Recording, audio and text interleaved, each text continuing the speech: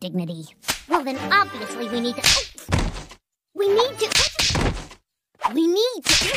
You have enough problems right now, Libby. Scratch and I will fix this. Oh, come on! Spare me just once!